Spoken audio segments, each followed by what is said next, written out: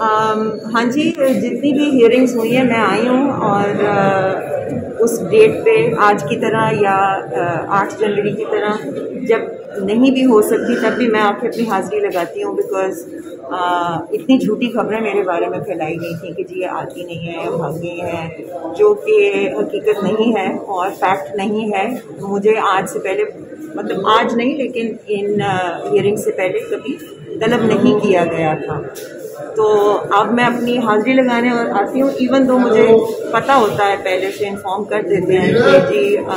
ये मसला है वो मसला है बाहर हाल डेट लगी होती है मैं थैंक यू तो हाँ। सवाल करना है आपने सवाल करना